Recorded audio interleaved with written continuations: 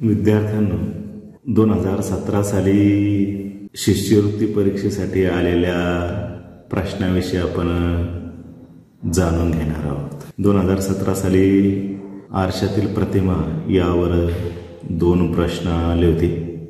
त्यातील हा पहिला प्रश्न चौकोनामध्ये चारशे पंचवीस ही संख्या दिलेली आहे आणि उजव्या बाजूला आरसा आहे. याची आरशातील प्रतिमा आपल्याला शोधायची आहे. त्यासाठी आपले दोन नियम आहेत. वरची बाजू ही वर असते आणि खालची बाजू खालीच असते. दुसरा नियम डावी बाजू उजवीकडे असते आणि उजवी बाजू ही डावीकडे असते.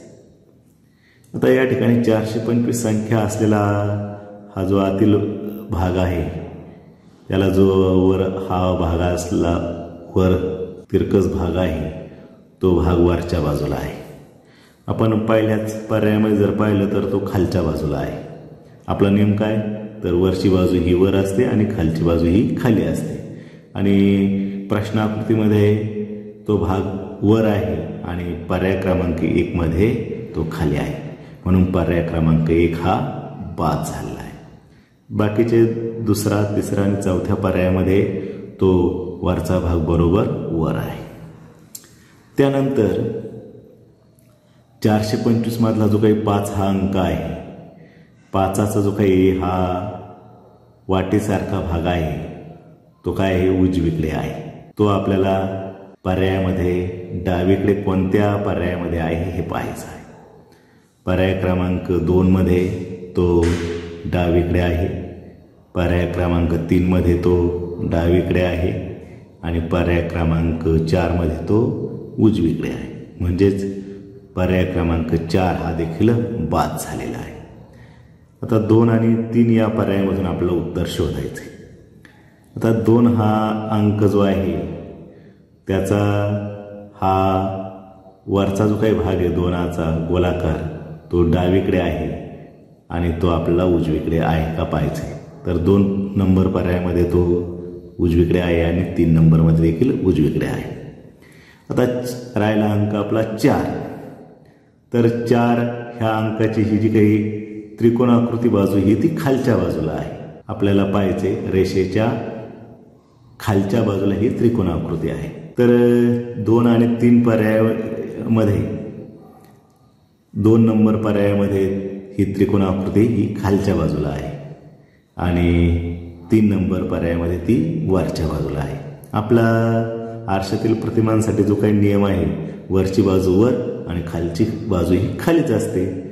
तर त्यानुसार पर्याय क्रमांक दोन हे उत्तर बरोबर आहे. त्यानंतर दुसरं जे काही उदाहरण विचारलं होतं ते या ठिकाणी हे दुसरं उदाहरण आपला दोन हजार सतरा साली विचारलेलं होतं.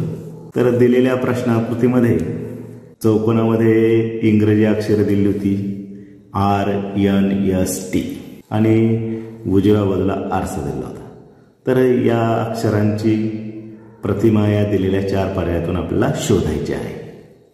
त्यासाठी पुन्हा आपला नियम वरची बाजू वर खालची बाजू खाली असते. तर डावी बाजू ही उजवीकडे असते आणि उजवी बाजू ही डावीकडे असते. आता त्यानुसार आपण वरच्या बाजूला यन हे अक्षर आहे.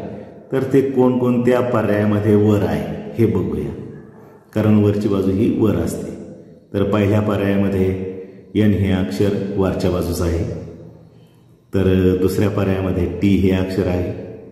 तिसऱ्या पर्यायामध्ये दोन अक्षरे आलेली आहेत यन आणि यस आणि चौथ्या पर्यायामध्ये आर हे आहे म्हणजेच या ठिकाणी आपण जर पाहिलं तर पर्याय क्रमांक एक हे उत्तर बरोबर आहे.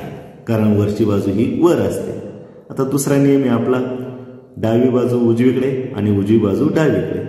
आर हा डाव्या बाजूला आहे आणि पर्यायामध्ये तो उजव्या बाजूला आहे. तसंच यस हे अक्षर उजव्या बाजूला आहे ते पर्यायामध्ये डाव्या बाजूला आहे.